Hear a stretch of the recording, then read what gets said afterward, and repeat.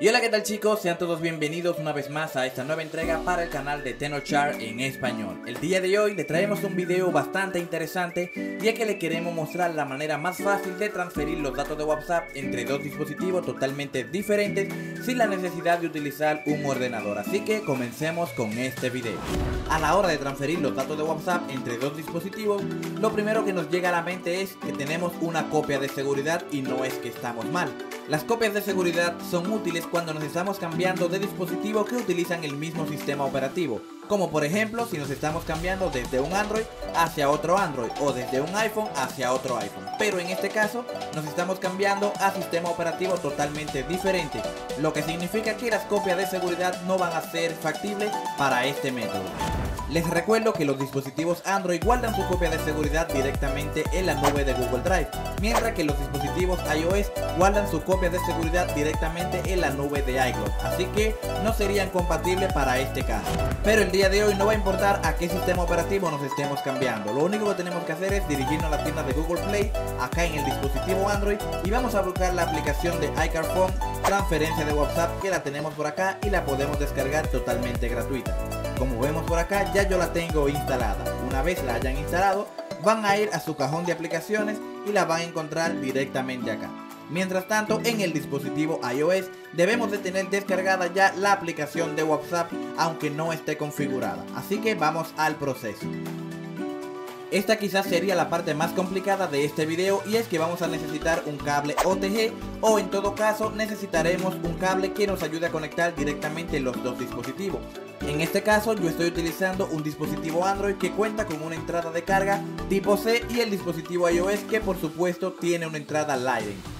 El cable que voy a utilizar el día de hoy es un cable que en un extremo es tipo C y en el otro extremo es un cable Lightning, por lo que no necesitaría un cable OTG. En caso de que ustedes no cuenten con estas entradas o simplemente no cuenten con este tipo de cable, pues pueden hacerse de un cable OTG que lo pueden encontrar por el precio aproximadamente de un dólar. Una vez lo tengamos conectado, vamos a abrir la aplicación de iCarphone transferencia de WhatsApp en el dispositivo Android. Aquí nos está preguntando que si queremos transferirlo a un dispositivo iOS o a un dispositivo Android. En este caso, como lo vamos a transferir a un dispositivo iOS, hacemos clic en la primera opción. Aquí nos va a detectar la copia de seguridad que tengamos en el dispositivo Android. En caso de que no nos aparezca esta copia de seguridad, simplemente vamos a los ajustes de nuestro WhatsApp y hacemos una copia de seguridad local. Luego de esto, de que la reconozca, por acá nos va a decir el peso que ocupa esta copia de seguridad. Seleccionamos la copia de seguridad, le damos en que sí Aquí nos está indicando que conectemos el dispositivo, pero como ya lo tenemos conectado, vamos a ir directamente a colocar nuestro número telefónico como nos está solicitando por acá, para que pueda llegarnos el código de verificación. En este caso vamos a colocar el número del dispositivo origen, es decir, el número de WhatsApp que tenemos registrado en esta aplicación en el dispositivo Android. Una vez coloquemos la información solicitada, le damos en siguiente nos aparecerá un mensaje indicándonos que si tenemos la verificación en dos pasos activa, pues debemos de desactivarla para poder hacer este proceso. Ya aquí nos ha llegado el código, así que vamos a ingresarlo. Aquí se estaría verificando el código y la sesión de WhatsApp de este dispositivo se va a cerrar para poder hacer la transferencia hacia el dispositivo destino, que es el dispositivo iOS.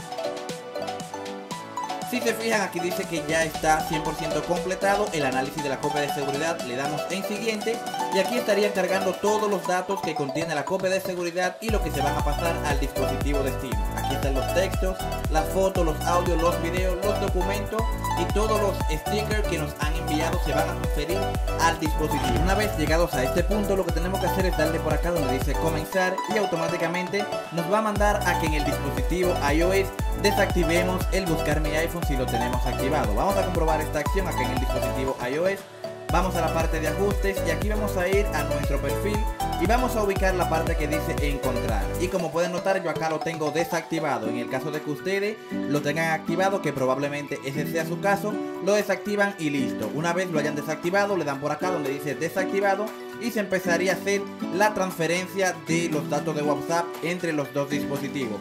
Por acá nos dice que durante esta transferencia pues se va a disminuir el brillo en ambos dispositivos para poder ahorrar un poco de batería. Así que vamos a esperar a que se transfieran los datos. Eso es algo que va a tardar un poco ya que esta copia de seguridad pesa 3.6 GB y se tiene que pasar de manera total al dispositivo iOS. Yo voy a pausar el video mientras tanto en lo que se pasa esta copia de seguridad. Es necesario recordarle que durante esta transferencia de WhatsApp no podemos desconectar ninguno de los dos dispositivos ni lo podemos usar para no estropear el proceso y como les había comentado anteriormente, ya el dispositivo iOS debe de tener descargado la aplicación de WhatsApp aunque no esté configurada. Así que vamos a pausar el video y regresamos en breve.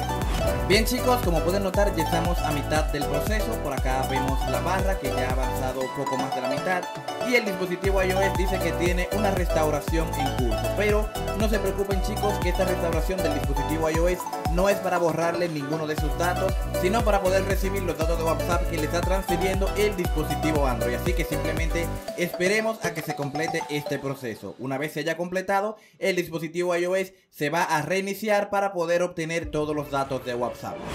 Listo chicos, como ven por acá ya el dispositivo iOS se ha reiniciado y aquí nos está indicando de que ya el proceso ha sido completado con éxito. Así que lo único que tenemos que hacer es verificar ahora en el dispositivo iOS, configurar nuestro WhatsApp con nuestro número telefónico que vayamos a registrar y comprobar de que ya los datos se hayan transferido. Esto si queremos ya lo podemos cerrar porque como pueden notar dice que ya la transferencia ha sido completada. Vamos a configurar el dispositivo iOS con nuestro número telefónico para comprobar si realmente se pasaron los datos.